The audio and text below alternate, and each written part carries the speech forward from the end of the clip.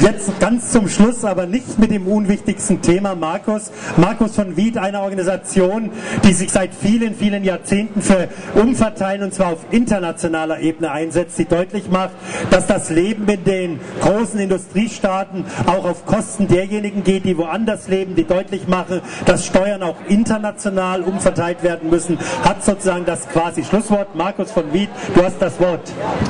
Ja, vielen Dank. Ja, also wie Uwe schon gesagt hat gerade, arbeiten wir auch zu dem Feld, das auch schon der Blockupy-Kollege angesprochen hat, dass wir Umverteilen nicht nur als nationale Aufgabe verstehen, sondern uns immer klar machen, dass derselbe Kampf auf der ganzen Welt geführt wird, sowohl in den Staaten, in den anderen, aber auch als Kampf um die globalen Ressourcen zwischen den verschiedenen Leuten. Und ähm, wir also immer darauf achten müssen, vor allem auch wie wir als Industriestaaten, als Europa, als Deutschland in diesem globalen Umverteilungsspiel eine Rolle spielen.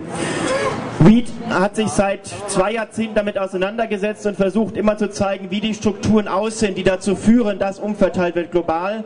Das betrifft den Bereich Handel, wie wir mit Freihandelsabkommen mit der Internationalen Handelsorganisation dazu beigetragen haben, dass Ressourcen umverteilt werden, dass Staaten darunter leiden, wenn wir hier unsere Pfründe, unsere Rechte schützen auf Kosten der Entwicklungs- und Schwellenländer.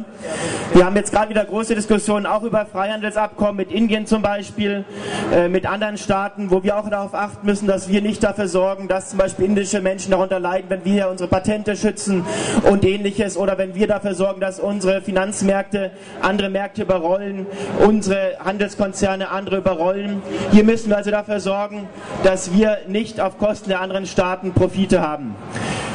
Ein anderer Bereich, wo ich vor allem dazu auch arbeite als Referent für Finanzmärkte, sind die internationalen Finanzmärkte, die auch natürlich dazu beigetragen haben in den letzten Jahrzehnten, dass bestimmte Leute extrem viel Reichtum anhäufen konnten und dass andere dafür umso weniger hatten und das eben die große Masse der Menschen ist. Und hier auch müssen wir dafür sorgen, dass endlich wieder Strukturen geschaffen werden in den Finanzmärkten, die es verhindern, dass Einzelne sich bereichern können. Wir kämpfen als ein Instrument, was natürlich nur ein kleiner Teil ist des Ganzen, seit lange schon dafür, dass wir eine Finanztransaktionssteuer haben. Und die ist jetzt endlich auch in Europa so nah, dass wir hoffen können, dass da Gelder abgezogen werden in wirklich großen Stil aus den Finanzmärkten. Es ist aber immer noch nicht ganz klar, wie viel davon dann eingesetzt wird, auch zur globalen Umverteilung. Und hier müssen wir dranbleiben und dafür sorgen, dass wirklich vieles von dem Geld auch für Entwicklung eingesetzt wird. Zum Abschluss noch, äh, das Stichwort Steuern ist ja schon gefallen. Wir arbeiten unter anderem auch mit, mit im Netzwerk Steuergerechtigkeit oder global das Tax Justice Network, das vor zehn Jahren gegründet wurde am Europäischen Sozialforum, unter anderem von ATTAC, von einigen sehr äh, kompetenten Spezialisten aus dem Steuerbereich. Und jetzt endlich ist das Thema ja in den letzten Jahren ganz groß geworden, zuletzt mit Offshore Leaks, aber es gibt schon seit Jahren eine immer größere Debatte.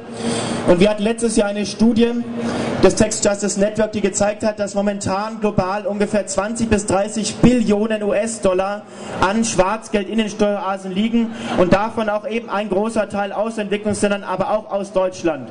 Und dieses Geld müssen wir endlich aus diesen Schattenfinanzplätzen rausholen, zurückholen und uns damit auch wirklich wieder die Basis schaffen, um hier umzuverteilen in Deutschland, in allen Staaten der Welt. Vielen Dank.